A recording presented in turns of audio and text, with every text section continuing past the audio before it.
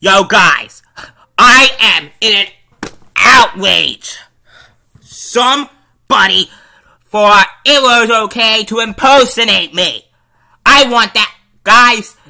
To any my fans out there, you need to report that account. Link will be in the description. This is me signing off in an outrage. Ugh.